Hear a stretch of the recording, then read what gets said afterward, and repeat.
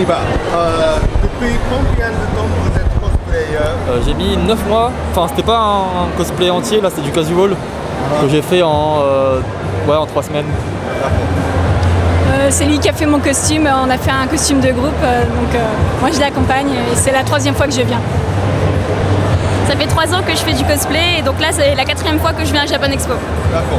Pourquoi vous quand je suis allée à ma première convention à Paris Manga, en fait je suis tombée fan des autres cosplayers et j'ai eu envie moi aussi de me mettre au cosplay et euh, de pouvoir entrer dans la peau des personnages. D'accord. Pardon? Pourquoi vous êtes devenu cosplayer Parce que j'aime cet univers, c'est original et euh, c'est intéressant de se mettre dans la peau d'un personnage pour une journée. euh, on s'amuse bien. Pourquoi vous êtes devenu cosplayer Parce que je suis fan de plusieurs univers, j'adore bricoler, du coup créer des objets, créer des costumes, ça me passionne en fait, c'est un loisir. Quelle culture japonaise aimez-vous Euh, en fait je suis plutôt manga. J'aime bien, au début en fait, j'ai découvert ça par les mangas. Et après je me suis ouvert euh, comment dire, à la culture traditionnelle, aux coutumes, etc. Et ça me passionne. et- et voilà. Et Quelle culture japonaise aimez-vous Plus les dramas. J'aime beaucoup les dramas et aussi euh, les animés japonais. j'aime bien.